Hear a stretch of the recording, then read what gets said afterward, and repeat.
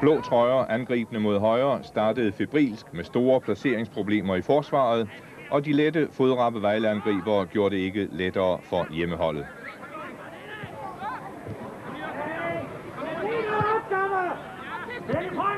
Tommy Andersen.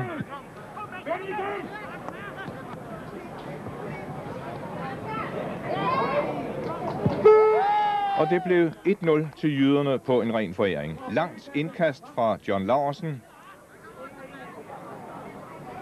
Som Lyngbys Lars Sørensen hætter videre trods målmand Henrik Christensens råb, jeg har. Og så er der en chance at misbruge første divisions topscorer Sten Tykussen ikke. Og foræringen her i langsom bevægelse, Lars Sørensen mente, at målmanden havde råbt for sent. Henrik Christensen indrømmede, at hans råb åbenbart havde forvirret Lars Sørensen, så han ikke kom rigtigt til værs. Og to minutter senere. Lars Sørensen til John Helt, der mister bolden her til Tommy Andersen. til Julian Barnett. Elegant videre til Sten Tykussen. Men målet annulleres helt korrekt for offside. Men det viste lidt om Lyngbys vanskeligheder i forsvaret. Først efter 28 minutter spil kom det første farlige Lyngby-forsøg. Indtil da var der spillet med lange bolde frem til de to frontløbere, Flemming Christensen og Tom Wilmer, fordi Vejles midtbane var alt dominerende.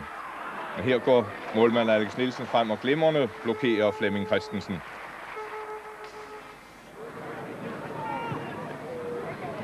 Og endnu en enkelt Lyngby-chance. En halvleg helt domineret af Vejle, men Michael Kristoffersens aflevering er for svag til Flemming Christensen.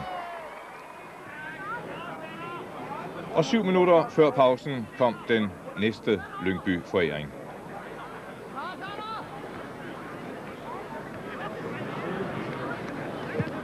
Bolden får et forkert opspring for John Larsen. Sten Tykussen hurtigt over bolden. Dejlig koldt blod udenom Henrik Christensen og passerer også Lars Sørensen ind i mål. Sten Tykussens 22. mål i denne sæson.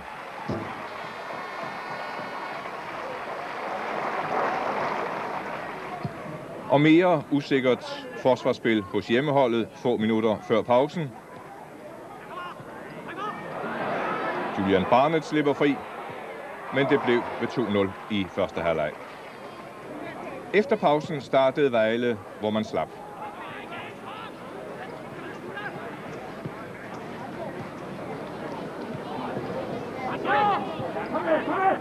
Bakken John Larsen rykker med frem.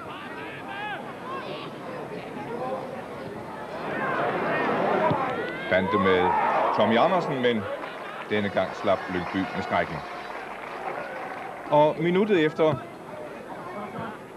glimrende kombination her, Julian Barnett. Lars Sørensen kommer imellem.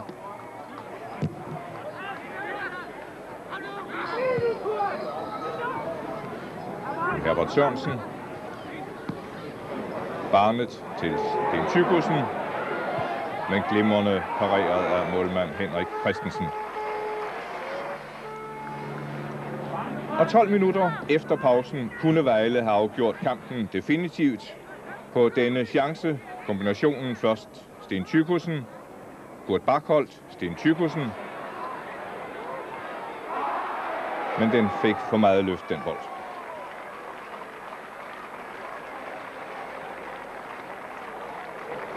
Men så svarede Lyngby endelig igen.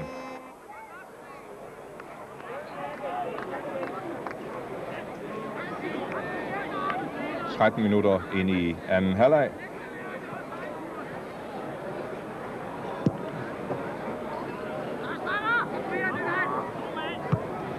Michael Spangsborg.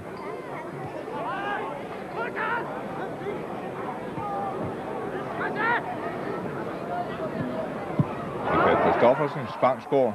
Kristoffersen til John Helt. Igen til Michael Kristoffersen og en helt perfekt aflevering ind til Flemming Christensen og stillingen 2-1 til Vejle.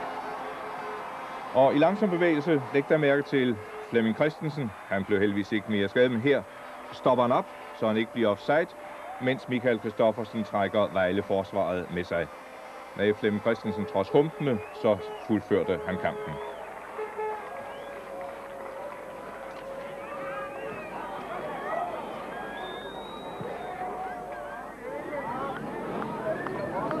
Og dermed kom Lyngby mere med i kampen. Vejle blev forsigtige. Nu skulle forspringen forsvares.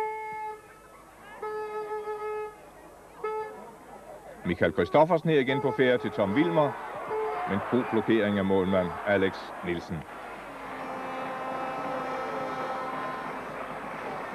Og efter Lyngbys reducering, der blev det kun til få Vejle-forsøg. Et af de bedste havde igen Julian Barnett.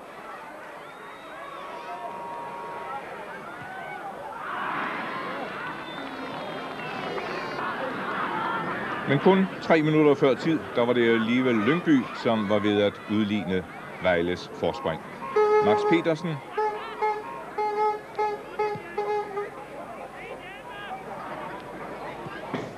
Michael Kristoffersen. Langt flad aflevering til Ben Christensen. Men igen er Alex Nielsen på sin post, og det blev 2-1 til Vejle, som trods foræringerne fortjente sejren på sit gode spil i den første time.